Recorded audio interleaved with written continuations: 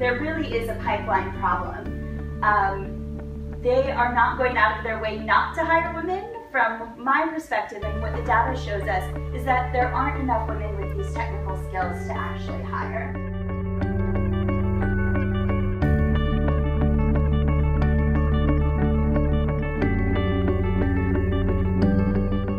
So there's a huge opportunity here for women to pursue technical training and to uh, pursue technical careers.